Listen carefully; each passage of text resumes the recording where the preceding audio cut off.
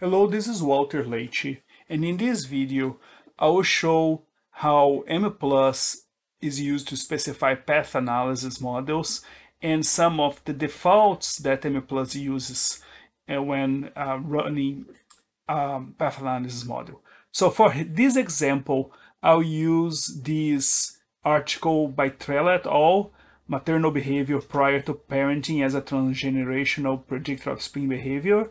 The model that the authors are fitting is this model here.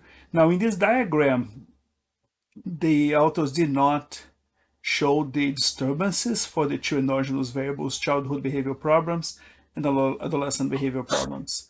And the authors also did not show correlations between exogenous variables. So in Mplus, the here we have uh, an analysis of the correlation matrix, uh, which I specify with type equals core, um, and the sample size is 2,548. um, now, the this is the simplest specification. I am mentioning the two equations of the model um, with the two endogenous variables. So ABPIS is adolescent behavioral problems uh, and is predicted by child behavioral problems, mother behavioral problems, mother's education and socioeconomic status. And CBPIS is child behavioral problems predicted by mother behavioral problems, mother education, and socioeconomic status. Note that here I do not mention um, the variances of the exogenous variables, which are mother behavior problems, mother education, social status. I don't mention any correlations between the exogenous variables. So what Mplus does is Mplus does not add these variances and these correlations between exogenous variables as parameters in the model. So it's like the, those correlations didn't exist.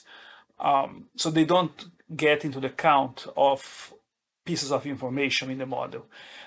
Now, Mplus, by default, will estimate the disturbance of the two endogenous variables, even though I did not mention them specifically here.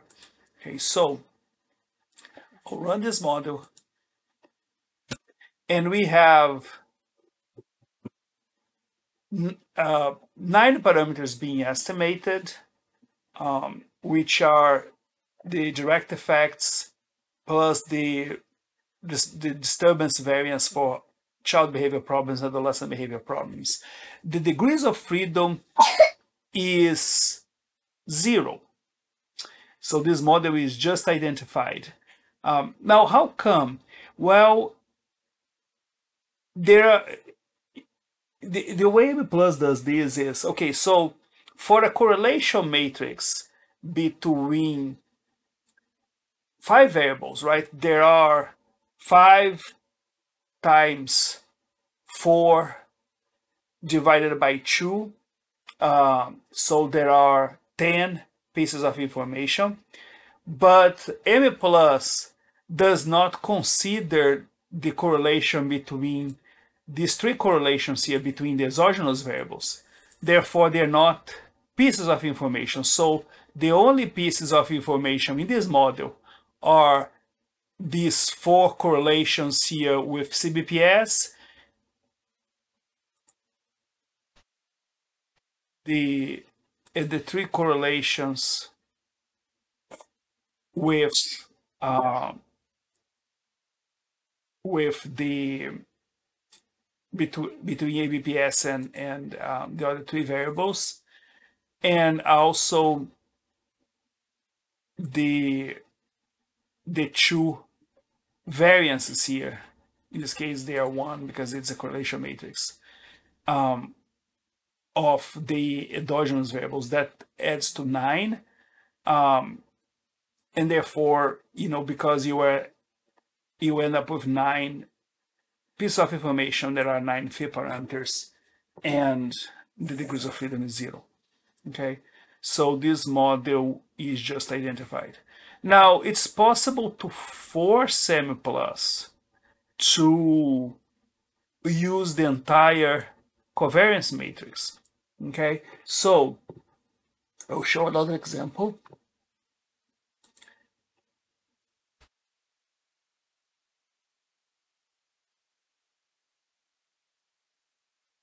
So with this model here, it's the same model, but now I specifically declared the two residual disturbance. Now this is not necessary because Mplus would estimate them anyway, but I also declared the variances of the exogenous variables.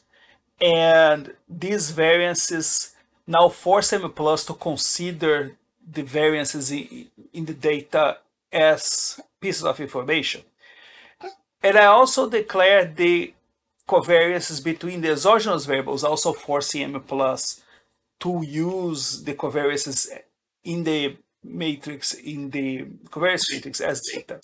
So if I run this model, I now have 15 parameters instead of 9, and the degrees of freedom is still 0. How come? Because now Mplus is using the entire covariance matrix because I, I forced it to do to, to do that by declaring the variances and covariances between exogenous variables. So the the number of pieces of information here uh, for a, a covariance matrix is um, the correlations we have, the number of correlations are um, 5 times 4 divided by 2, so 10 correlations plus 5 variances, which we have, here they are 1 because it's a correlation matrix. Therefore gives us 15 parameters, and we are estimating 15 parameters. This gives a degrees of freedom of 0. So it's exactly the same model as before, just estimated with more information. The results are exactly the same. The parameter estimates that are common between the two models are exactly the same. Okay. Now I will also show how Mplus uh, does some of the defaults. Um, so I have another model here where I deleted one path from the original model. So I deleted the direct effect of child behavior problems on adolescent behavior problems, right? So the original model had that um, had that path, right? And the original model had nine parameters and was just identified. So I deleted this path here that I put on the comments. Okay, now let's run this and see what happens. Okay, so the original parameter had the original model had nine parameters. I deleted one. We should have eight parameters, right? Well, no, there is still nine parameters, and the model is still just identified. What happened? Well, what happened was that by making removing the only path between two endogenous variables, I trigger a default EM plus. So by EM plus, by default, any endogenous variables that do not have a direct path between them have disturbances that are allowed to correlate. So what Mplus did by default was to add this residual correlation here, the residual correlation between child behavior problem and adolescent behavior problem. I did not ask for that. I did not put that in the model. But M plus added it by default, which made the model just identified. Um, so it's important to be aware of that, uh, that Mplus by default, if there are endogenous variables with no direct paths between them, Mplus will make their disturbances correlate. If that's not what you want, you need to specifically add um, a constraint here, ABPS with CBPS at zero. okay, to, to make that correlation disappear.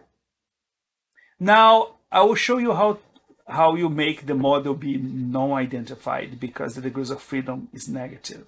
Okay, so and in, in actually make it in a way that, that's also non-recursive, right? So here I have the original model um, where I have CBPS with a direct effect or ABPS.